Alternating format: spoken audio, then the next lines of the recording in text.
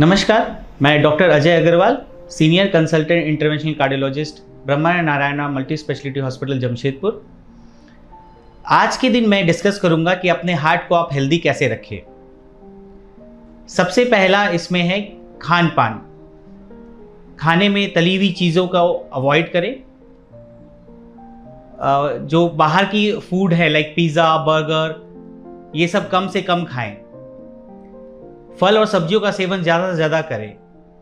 इनमें सिर्फ़ शुगर के पेशेंट को थोड़ा सा ध्यान रखना होता है कि उनमें फलों में भी रेस्ट्रिक्शन होता है एक्सेप्ट कुछ फल सिर्फ़ है जो वो खा सकते हैं। दूसरा है एक्सरसाइज डेली हमें एक्सरसाइज की आदत डालनी चाहिए। ये किसी भी फॉर्म में किया जा सकता है। चाहे तो आप आधे घंटे वॉक करें जॉगिंग करें साइकिलिंग करें स्विमिंग करें कोई आउटडोर गेम्स खेले लाइक क्रिकेट फुटबॉल बास्केटबॉल जो आपकी हॉबी हो। नॉर्मल रूटीन वर्क में लिफ्ट का प्रयोग ना करें, सीढ़ियों का ज़्यादा प्रयोग करें। फ़ोन कॉल्स में बात कर रहे हैं तो भी चल कर बात करें, एक जगह बैठ कर बात ना करें तो ये भी एक तरह का आपका फ़िज़िकल एक्टिविटी में काउंट होगा।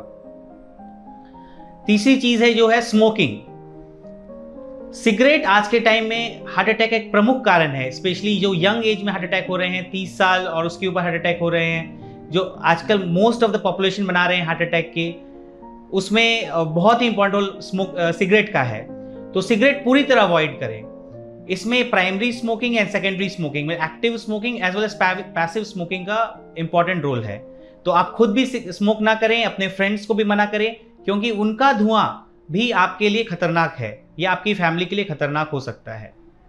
अपना ब्लड प्रेशर शुगर कोलेस्ट्रॉल साल में एक बार ज़रूर चेकअप कराएँ। यदि आपको इनमें से कोई भी बीमारी है तो रेगुलर चेकअप कराएँ मंथली चेकअप कराएँ, और उनको कंट्रोल रखें। इससे आपको हार्ट अटैक का रिस्क कम होगा।